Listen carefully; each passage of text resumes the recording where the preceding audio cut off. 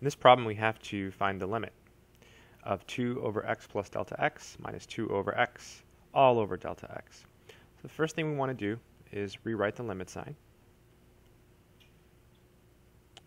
And then in the numerator, we just want to subtract. So we're going to write down the LCD.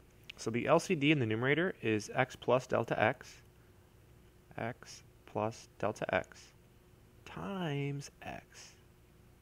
Okay, then you write the fraction sign. And to figure out what goes up top here, it's always going to be 2, so in this case 2, times whatever is missing here to get the LCD. Well, we're missing the x.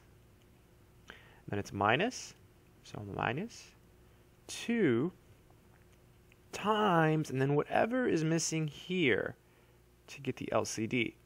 So that'll be x plus delta x. It's all over delta x.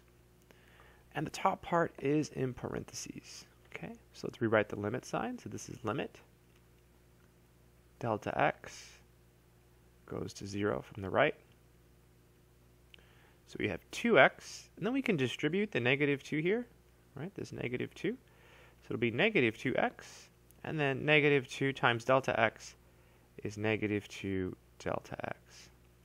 It's all over x plus delta x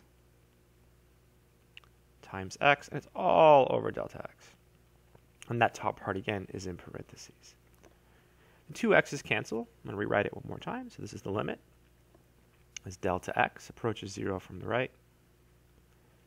So we have negative 2 delta x over, and then x plus delta x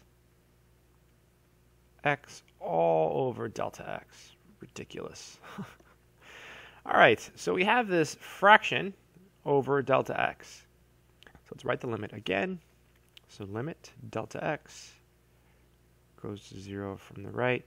So when you have this fraction and you divide by delta x, you really multiply by the reciprocal of delta x. So it's this fraction, negative 2 delta x, over x plus delta x x times the reciprocal, so 1 over delta x, right? Because when you divide by delta x, you're really multiplying by the reciprocal of delta x.